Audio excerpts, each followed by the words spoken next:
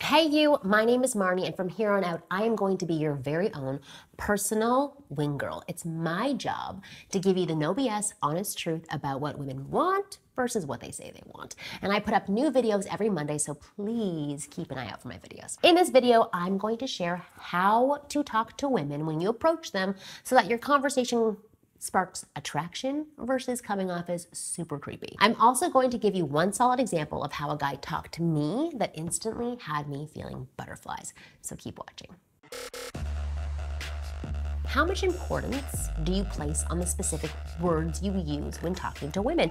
If you're anything like most guys, or the guys that I work with, my guess would be a lot. That's because men tend to be more logical and pay attention to the content of what's said, whereas women are more intuitive and focused on the context of what's being said. In other words, how you say something is way more important than what you say.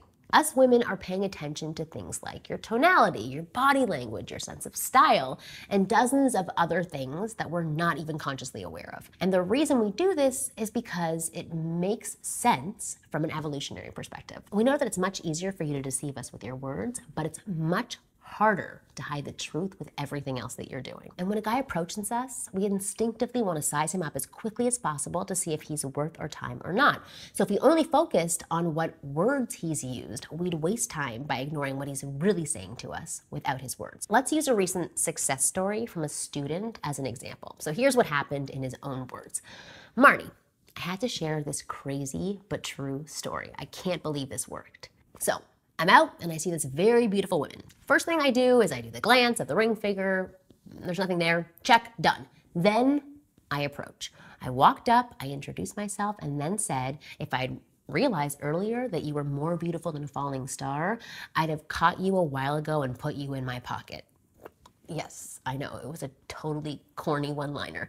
Um, now, Marnie, I've been practicing, not worrying about what happens next, just having a blast. Long story short, I got her number and an instant coffee date, which led to a date for later in the week. I never really understood it when you first said it to me, but after getting more into your method, I finally realized what you were talking about. It wasn't so much what I said, it was the attitude behind it. Yes, I had a Marnie inspired epiphany. Okay, so what's your impression of the line he used to approach this woman? It's probably the same as mine, and you probably think it's super cheesy as anything, and you'd be 100% right to think that, but that's the whole point. There's nothing special at all in what he said.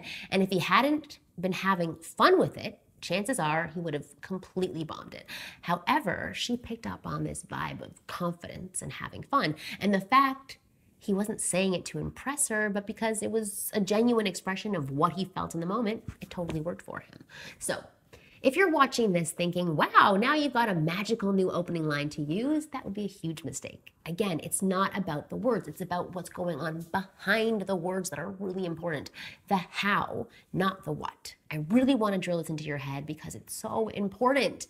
If you were to line up 10 guys in front of me who all deliver the same guaranteed panty dropper line, I know with 100% certainty that my panties would only drop for a couple of them. One guy I want to pounce on instantly and make sweet love to him. Another guy I want to punch in the face or just run away from him.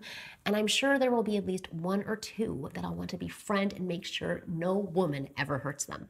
Even though they're all going to say the same exact words, I'll hear them differently based on how and who is delivering these lines to me. So, how do you learn how to say things to women so that your words ignite attraction versus get you a direct ticket to Creepy Town or the dreaded friend zone? And I'm going to tell you that in just a minute. But first, I want to share another story with you.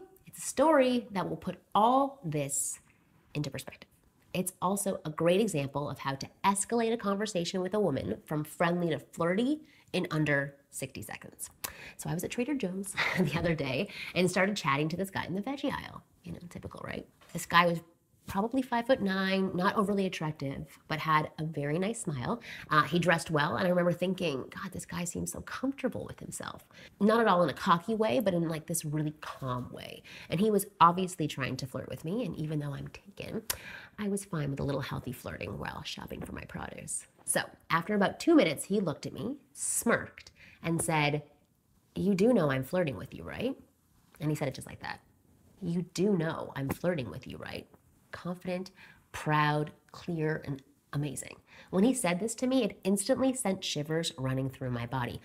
I stumbled for a second and said, Yes, it's very clear, but I have someone in my life, but you know, thank you for this. Um, I left feeling wonderful and thinking, I have to write this down so I don't forget to share it with you because how he talked to me was perfect. The outcome of the story would have been very different had he said that same exact sentence like this You do know I'm flirting with you, right? Do you see how different that sounds? Well, to experience it from the female point of view, magnify that difference times 10 and you'll feel what we feel. So now the question is, how can you learn to talk the way that this guy talked to me? You do a little something I call engaging in juvenile dysfunction. And here's how it works. For the next few weeks, your goal is to get comfortable with being uncomfortable, just like a little kid. Kids are so free. They scream at the top of their lungs. They move their bodies and faces so freely without caring about what they look like. They say anything they want because they can. And for the next few weeks, I want you to act just like them free, open, comfortable, and not giving a damn about what other people think. And you do this by doing at least three of the following things. All right, number one, break out into dance in the middle of the street for 30 seconds and then continue walking like you don't care. Number two, say something to someone random that makes no sense to them, but only makes sense to you. Like, I love it when bumblebees sing happy birthday. Just random. And then again, just keep walking. Number three, break into song on the subway or in an elevator. Just awesome. Number four, blast the music really loud in your car and just start singing. And when you start to think, oh, someone's watching me, get even louder and more animated. You can do any variation of these, and I'll give you bonus points if you can share in the comment section below other things you did to show you don't care what other people think. These exercises are meant to push you out of your comfort zone in a safe way and get you more comfortable with you. And you'll realize nobody cares. If anything, they like it. And I know you're probably thinking, Marnie, all of this sounds great, but how the hell is this going to help me talk to women? It's going to help you because as soon as you get out of that sticky head of yours and just say, screw it, that's when women will notice. Doing this will help you be more comfortable with you and in turn will alter how you talk to women and how they see you. Instead of stressing over what to say when you approach a woman, you're much better off focusing on how you feel when you approach her. And if you feel freaking good and comfortable and full of life instead of dread, we're going to feel that. And it's going to tell us more about you than anything that you would ever say to us. Because when it comes to creating deep, powerful attraction that makes us go weak in the knees for you, it's not so much about what you do, it's about who you are. Guys who understand this about women are incredibly rare, which is why the few who do get it also have tons more sexual options that they can handle. And that's what I'm here to help you with. If you've been confused and frustrated by women, not sure where you're going wrong and why you just can't seem to get it right, then I can help you. I've put together a free 45 minute video that tells you exactly how to project to women that you are a man of value without changing a single thing about you. Not one single thing. Once you've watched it, I know you're gonna be eager to put my suggestions to work immediately. Just click the link below in the description box or go to thewinggirl.com. Remember, finding the right girl doesn't have to be hard when you understand what women really want. Let me be your wing girl. Go watch my free 45 minute video by going to thewinggirl.com. I'll see you next Monday.